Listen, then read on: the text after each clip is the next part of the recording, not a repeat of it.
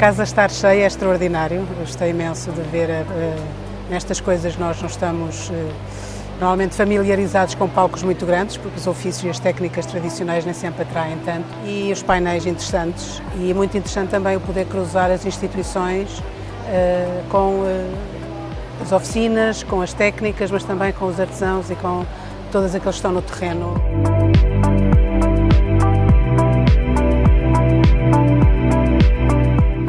Encontros, estes acontecimentos são importantes porque criam uma dinâmica, fala-se, reflete-se, as pessoas cruzam-se, conversam e são sempre importantes porque têm este lado das conferências e dos debates que é importantíssimo.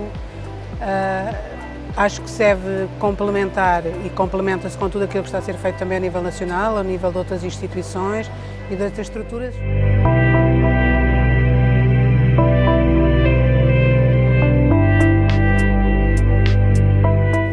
Porque as instituições não fazem tudo sozinhas, não é?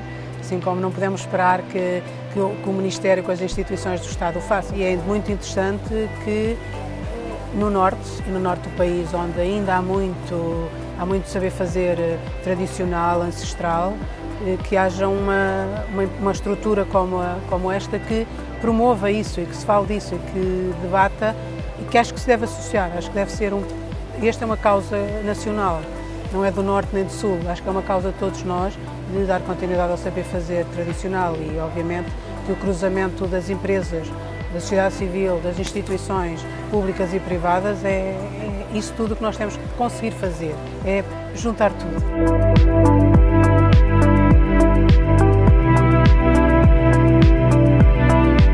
Olha, eu não acho que a comunicação em massa seja muito saudável para, para manter qualidade e excelência.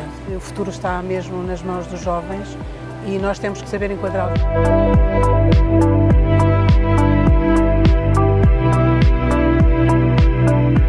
É, é também um grande trabalho de paixão por um projeto em que acredito, sempre acreditei.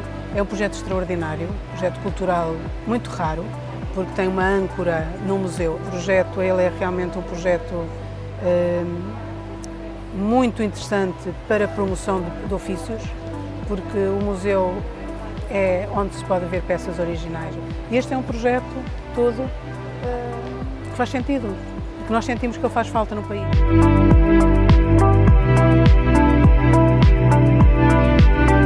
A Fundação mantém, obviamente, a sua estrutura de sempre, o museu, as atividades do museu, a dinamização das oficinas, a escola, a formação, a área de conservação e restauro. Depois temos projetos, estamos envolvidos a nível internacional com vários projetos com a Fundação Miguel Ângelo. Também estamos envolvidos com o Ministério da Cultura em, em áreas do saber fazer e fazer e tentar encontrar soluções também para eh, qualificar mais e melhor estes ofícios. Estamos envolvidos em vários projetos também ligados mais com estes artistas, com designers.